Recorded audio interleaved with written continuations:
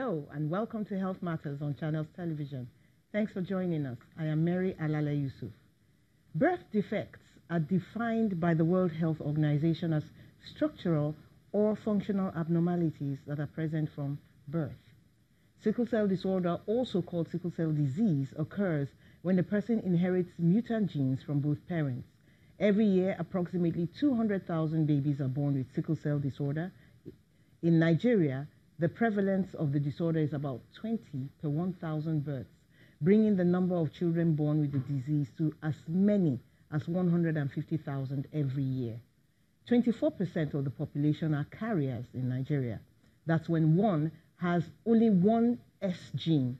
Frequencies of the carrier state determine the population of those with the disorder at birth. Now, prenatal diagnosis means diagnosis before birth. It's a way for a doctor to see if a developing baby has a problem. My guest is a molecular biologist and head of the DNA laboratory at the Sickle Cell Foundation, in Idi-Araba, Dr. Shola Ojewumi. Dr. Ojewumi is also a trained genetic counselor. You're welcome to the show. Thank you. Why has this concept of prenatal diagnosis not caught on in Nigeria? What do you see as the challenges? Because I think that a woman would like to know what kind of baby she's having. Um, in that regard, there are quite a number of challenges. One, there are couples who don't truly know what their genotypes are. Okay. They don't know whether they are carrying AA, whether they are carrying AS or SS. So, quite a number of times they go in, into marriage, they have uh, their babies, and they don't even know what the genotypes they are carrying or what the baby they have. I mean, it's also carrying.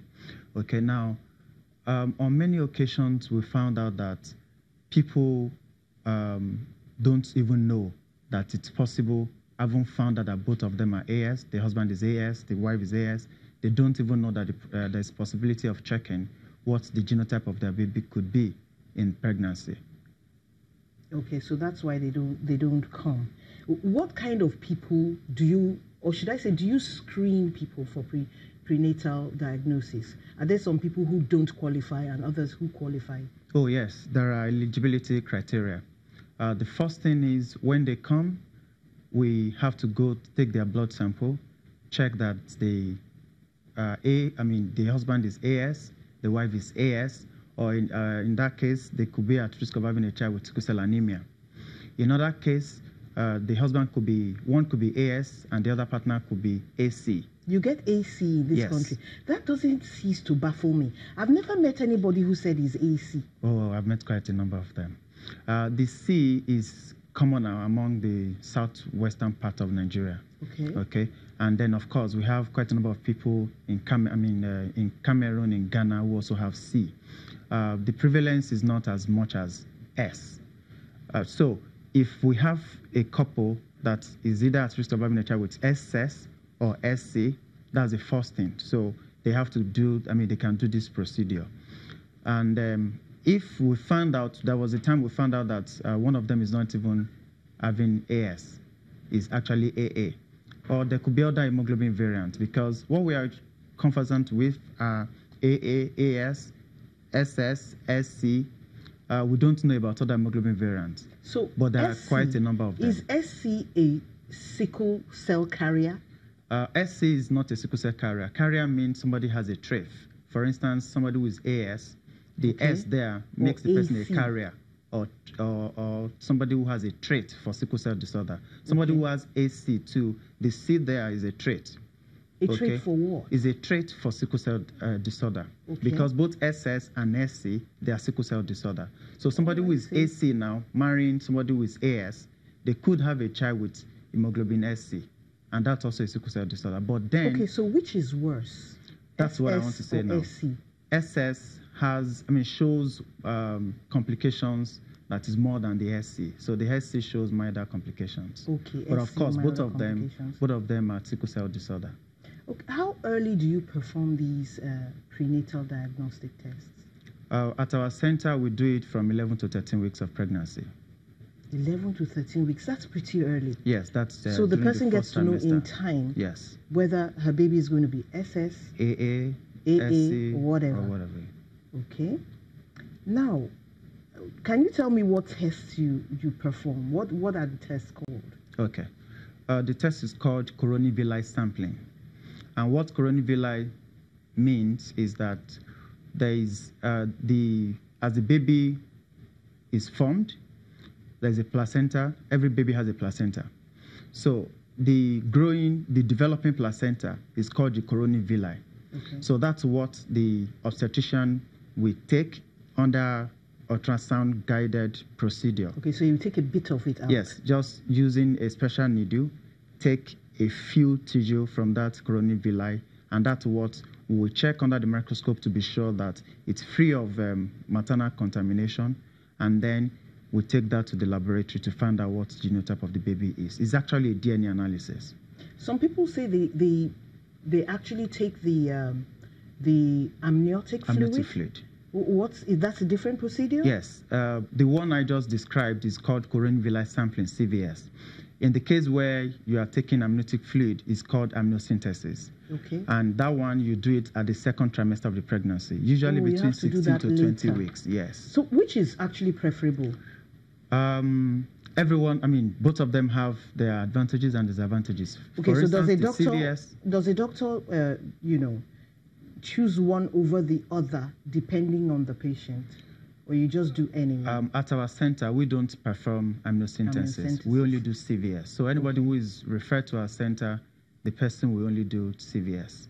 And then when you do CVS, you get your results within three days after the sampling.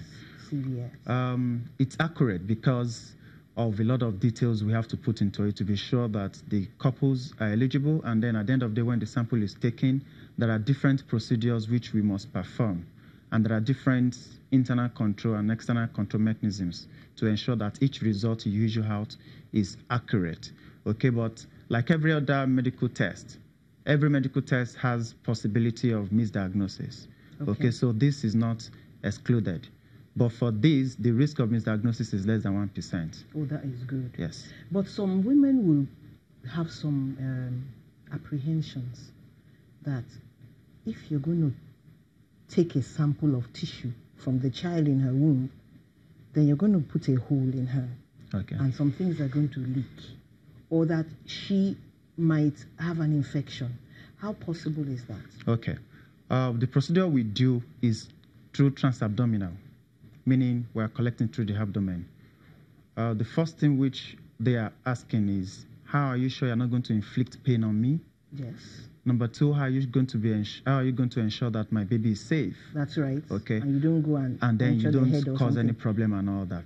Okay, so what we tell them is first, during the genetic counseling, which is a component of prenatal sampling, which we do, uh, we tell them that they are going to take the sample, having applied what we call a local anesthesia on Okay. their on their So they don't feel the so pain. they don't feel the pain so much. I mean, they might feel some discomfort.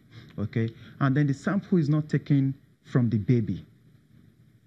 The sample is taken from the growing, developing placenta. Oh, okay. So it doesn't So even it come near doesn't the child. affect the baby at all. Okay. And then the procedure is not performed in the dark. Like I said earlier, it's performed through the guidance of ultrasound. So the sometimes the women could be apprehensive, nervous. Oh, pl- please put something to cover my face. I don't want to see your needle. I don't want to see this or that. But those for those who are brave or who are confident to see what we are doing, they can actually see through the scan how the needle is being I Oh, mean, is they can there. see how Yes, it's getting into the Yes, abdomen. Yes. Now that makes sense. So when That's they good. see that, they know that oh, this is not done in the dark, and so then they would can have identified the Yes. head of the child, Yes. the Yes. area where the placenta yes, is, and, and where the baby is, and then those are the kinds of measurements we also take into I mean cognizance before doing the sampling. First, we have to ensure that the fetal well-being is adequate, everything is fine, before we go in to collect the sample. And then after collecting the sample, uh, the CVS, we also show the mother, see your baby, the heart is beating, everything is fine, and all that. Okay, so we usually ensure that while the procedure is being done.